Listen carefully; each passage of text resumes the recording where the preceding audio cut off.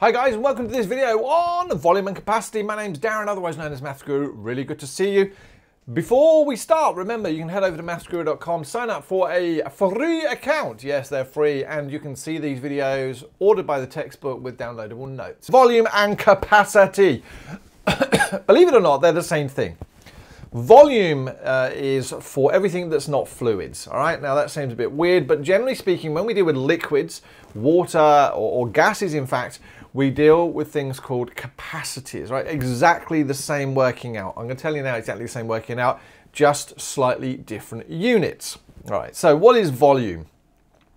Volume is the space inside. And you're going to go, well, hold on a moment. You told me that's what area was. Yes, I know.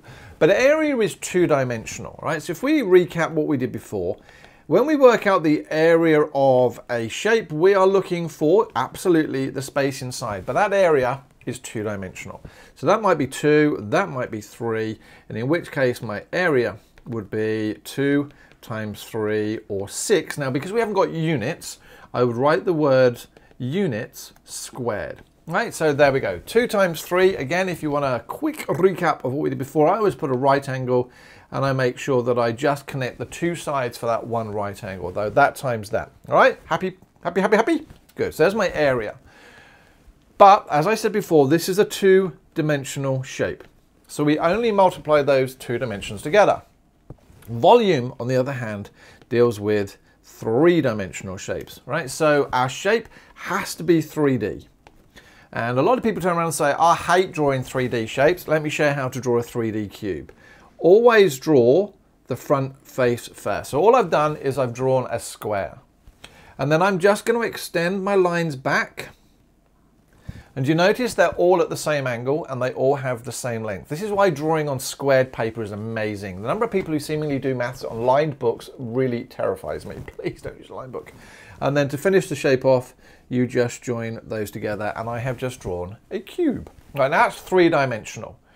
So the volume is how much stuff I can fit inside there, right? Uh, it could be sand, it could be mud, it can be all sorts of different stuff. You say mud, it's just going to look at my garden. So we are looking for how much stuff can fit in there. Now, how do we do that? Well, we need a formula again, don't we? All right, a formula. Now, when we have three-dimensional shapes, we normally say things like length times width times height. And again, I'll go back to my Shrek drawing from my daughter. Again, that was not me. I did not color that in. All right, but Shrek. All right, this isn't three-dimensional, but what is this? Is this the width? Is it the height? What's this? Is this a length? Is it a height? Because as soon as I change that shape around, the values change. What is this now? Is that the length? Is that the width? Is that the base? Well, what about if I hold it that way? Now, okay, that's not particularly useful because theoretically it's two-dimensional. It's not. But if I had something square, which I don't, the same principle applies. It's like, oh, which one's the length, which one's the width? So, we could call this L, W, and H if you wanted to. And so in which case, you know, traditionally we'd have volume is equal to length times width times height. I hate L because it looks like a one. I don't think of it that way. I'm going to go back and once again, I'm going to choose one corner of my shape. So when I try and find the volume, I choose one corner and I do that times that times that. Or now that's not going to work particularly well because it's coming into the camera, but it's this one times this one times this one. I multiply the three lines heading away from that corner. So to give you, uh, let's zoom in a moment, that means I would multiply that length by that length by that length. And that is literally it. Now you're going to try and say, but that's exactly the same. And I'm like, yeah, no, I know. But I need to remember it in my way. Don't judge. So if I have an example then, let's draw a cuboid. All right, now the difference between a cube and a cuboid is basically a cuboid is rectangular. Cube is like a sugar cube, all the lengths are the same. So in this situation here, that would probably be a cube because all my lengths are the same. So if I now say let that be four centimeters, five centimeters, and two centimeters, I am going to choose one corner. If I want to find the volume, there is my corner, and I'm going to do that times that times that. That is my volume. I know that this length here is five, I know that length there is 2 because it's given to me. And this length here is going to be exactly the same as that length there. So always look for similar lengths. So that's going to be 4 centimetres. So in which case now my volume is equal to 5 times 4 times 2. Now it doesn't actually matter which order you do the calculation because it's always going to be the same. All right, so it doesn't matter if I write down 4 times 5 times 2, but as I normally do, I do things in pairs. So 5 times 4 is 20, times by 2, and 20 times 2 is 40. My units are centimetres, but what is the floating number? Well, because we're doing a length times a length times a length, we've got three lengths. And so, believe it or not, we have a floaty 3. It's also, the shape is three-dimensional. And what you notice there is that my units are centimetres cubed. Well, in a previous video, we noticed that a lot of our lengths are done in terms of millimetres, centimetres, meters, and kilometers. And actually, our volumes can be exactly the same, all right? So our units of volume would be millimeters cubed, centimeters cubed, meters cubed, and kilometers cubed, right? So that's for everything that isn't a fluid. What about if we have fluids? Well, believe it or not, when we have fluids, otherwise known as capacities, all right, we just do exactly the same calculation, believe it or not, because they're going to give you lengths in terms of millimeters, centimeters, kilometers, uh, um, meters, millimeters, centimeters, meters, kilometers, whatever. But then you're going to use a conversion chart, or I'm going to talk about the conversions now. But capacities are measured in things like all right, new wording. So milliliters, you may have met that in science, all right? So you may have done that in science. Milliliters, liters, everyone's done liters because if you buy milk, it's, it's sold in liters, all right? Kiloliters, Ooh, kilo, oh, kilogram, kilogram, kilo. And stupid point of information, apparently it's supposed to be pronounced kilo. It's supposed to be kilogram. But for some reason, somebody mispronounced it. Uh, uh um, uh, someone on, I don't know where they were, but they were like, ah, oh, it's a kilogram and, and it just sort of took off. But apparently it's supposed to be kilogram or kiloliter, which just sounds stupid. And this one here is a megaliter, right? Megaliter. Now to be able to convert between those, well, luckily these ones are quite nice.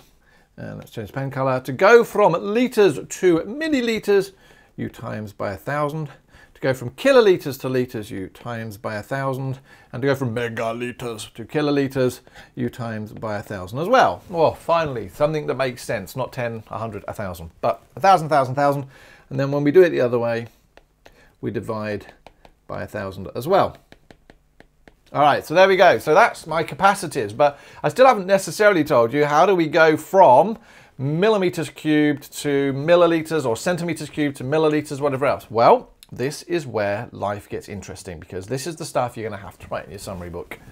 And there we go. There are our conversions. So the ones that are really, really important to remember is one millimeter, uh, one milliliter is equal to one centimeter cubed. Oh, hold on a moment. So if we go back to my previous answer, when I have now found this in centimeters cubed, that's 40 centimeters cubed, that now means that if I know that one milliliter is one centimeter cubed, then I could also write this down as 40 milliliters. Oh my goodness. So in that situation, beautiful. When it's centimeters cubed, we just change it for milliliters. Now, once we've gone to milliliters, we can actually then convert into liters because we know 1000 milliliters is equal to one liter.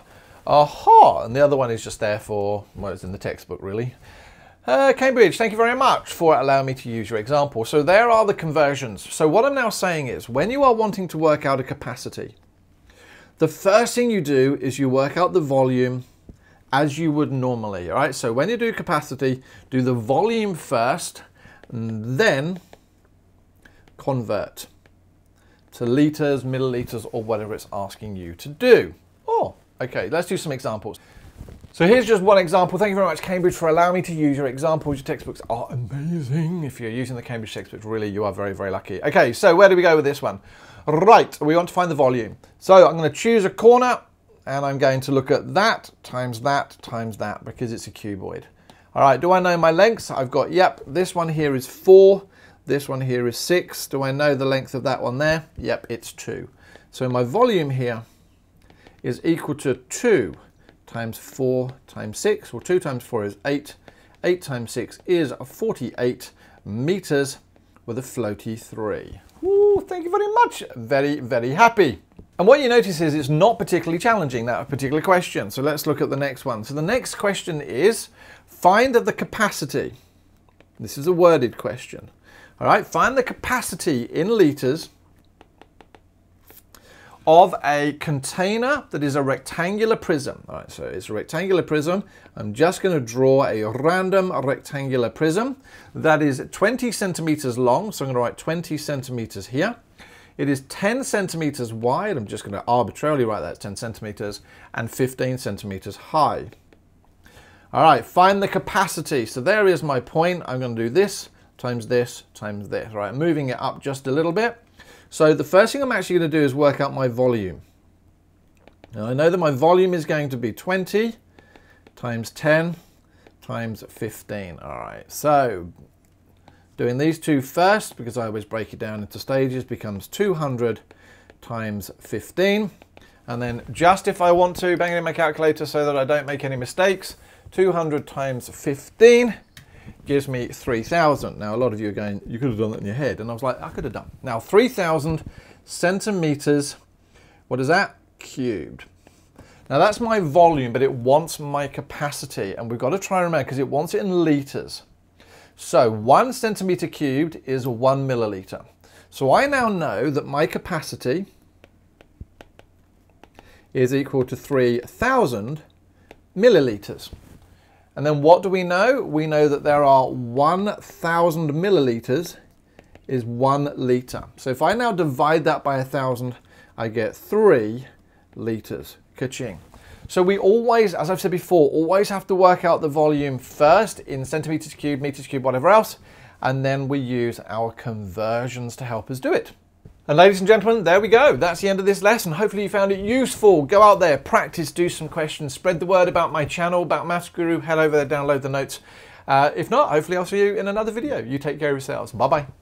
Thanks very much for watching guys. Yes, this is the end of another video. If you haven't already done so, can you click on my subscribe button? Yes, it doesn't mean anything other than the fact that I know that you are watching. Yes, it's greatly appreciated. Otherwise, I feel like I'm sitting here just talking to myself. And then, yes, there is maffsguru.com, of which you can see a still of now. And what is over there? Well, all the videos ordered by textbook, ordered by topic. You can search for the videos. You can download notes time codes, exam questions, and so, so much more coming up. Yeah, it's absolutely free to join. So I'm done. Thank you very much. I hope to see you in another video. Give me a shout out to your mates if you can. I just want to make sure that everyone finds maths interesting and easy. All right, take care, guys. See you again. Bye-bye. Stay safe.